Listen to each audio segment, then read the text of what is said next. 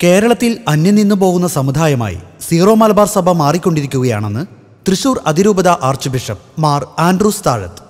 സഭയുടെ കുടുംബങ്ങളിൽ മക്കളില്ലാത്തതും വിവാഹം കഴിക്കാൻ പറ്റാത്ത സാഹചര്യം നിലനിൽക്കുന്നതും യുവദമ്പതികൾ വിദേശ രാജ്യങ്ങളിലേക്ക് പാലായനം ചെയ്യുന്നതുമൊക്കെയുമാണ് കേരളത്തിൽ സഭയുടെ അംഗസംഖ്യ താഴോട്ടു പോകാൻ കാരണമെന്ന് പിതാവ് പറഞ്ഞു.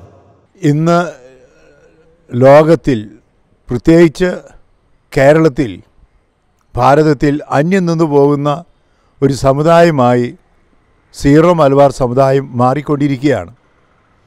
ഇതിന്റെ പ്രധാന കാരണം കുടുംബത്തിൽ മക്കളില്ലാത്തത് വിവാഹത്തിന് സാഹചര്യമില്ലാത്തത് അല്ലെങ്കിൽ വിവാഹം കഴിക്കാൻ പറ്റാത്തത് യുവദമ്പതികളെല്ലാം പലപ്പോഴും കേരളത്തിൽ നിന്ന് പുറത്തേക്ക് പോകുന്നതൊക്കെയാണ്.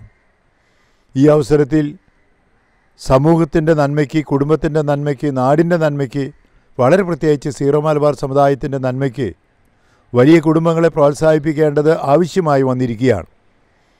വളരെയേറെ അംഗസംഖ്യ ഈ സമുദായത്തിൽ കുറഞ്ഞുകൊണ്ടിരിക്കുകയാണ് എന്ന് നമുക്കൊക്കെ അറിയാം. ഈ അവസരത്തിൽ രണ്ടായിരത്തി പത്ത് മുതൽ ഞാൻ പരസ്യമായി പ്രഖ്യാപിച്ചു അതിരൂപതയിലെ അഞ്ചാമത്തെ കുഞ്ഞിന്റെ മാമൂസിക്ക് ഞാൻ പോകുമെന്ന് ഞാൻ പോയിക്കൊണ്ടിരിക്കുകയാണ്. സഭയുടെ അംഗബലത്തെപ്പറ്റി പണ്ടു മുതലേ ശ്രദ്ധ പുലർത്തിയിരുന്ന പിതാവ് വലിയ കുടുംബങ്ങളെ പ്രോത്സാഹിപ്പിക്കുന്നതിന്റെ ഭാഗമായി തന്റെ അതിരൂപതയിലെ അഞ്ചാമത്തെ കുഞ്ഞുങ്ങളുടെ മാമോദിസ തന്റെ പ്രധാന കാർമ്മികത്വത്തിൽ നടത്തുമെന്ന് രണ്ടായിരത്തി പത്തിൽ പ്രസ്താവിച്ചിരുന്നു.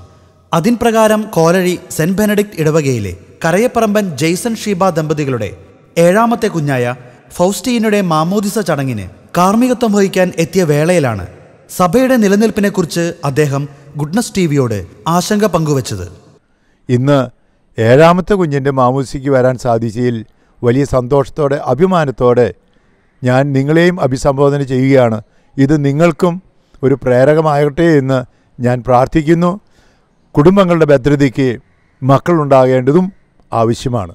രണ്ടാമത്തെ പ്രസവത്തിനു ശേഷം ഇനി മക്കൾ വേണ്ട എന്ന് തീരുമാനമെടുത്ത ജെയ്സൺ ഷീബ ദമ്പതികൾ പിന്നീട് ധ്യാനത്തിലൂടെ തങ്ങൾക്ക് ലഭിച്ച ദൈവകൽപ്പന ജീവിതത്തിൽ പ്രാവർത്തികമാക്കുകയായിരുന്നു. ദൈവകൽപ്പനയെ മുറുകെ പിടിച്ചുകൊണ്ട് ജീവിക്കുന്ന ജെയ്സൺ ഷീബ ദമ്പതികളെ അനുമോദിച്ച പിതാവ് ഈ കാലഘട്ടത്തിൽ വലിയ കുടുംബമെന്ന വെല്ലുവിളി സ്വീകരിച്ച് ദൈവം തന്ന മക്കളെ ചേർത്തു നിർത്തിയ ഇവർ ഭാവി തലമുറയ്ക്ക് മാതൃകയാണെന്നും ചൂണ്ടിക്കാട്ടി.